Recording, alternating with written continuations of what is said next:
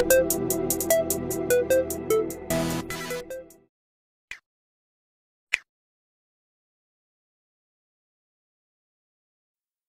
we get into the video, do not forget to like, comment and subscribe.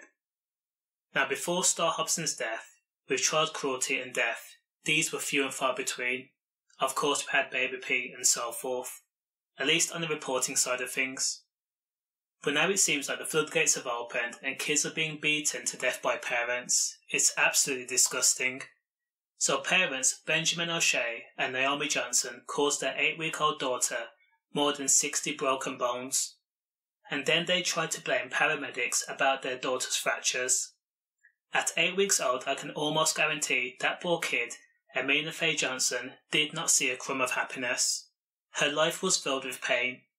For the 56 days of this child's life, she suffered every day. What's worst is, for the disgusting crimes as parents, 26 year old Benjamin O'Shea has been jailed for 8 years and 8 months in prison while Johnson was told she will serve seven years and two months. I just have one question. If you murder someone, or let's say you walk around with a knife and get convicted of wounding with intent, you're looking at these type of sentences. So how can a mom and dad knowingly hurt their eight-week-old child and ultimately cause their death, but get such light sentences? In total, Amina Faye Johnson suffered 41 fractures to her ribs, 24 fractures to her limbs, and experts told the court that Amina must have suffered continued physical abuse. This all happened on the morning of April 2019 after Amina Johnson stopped breathing. Paramedics arrived on the scene at the family home within minutes and attempted to save the child's life, but she was pronounced dead at the scene.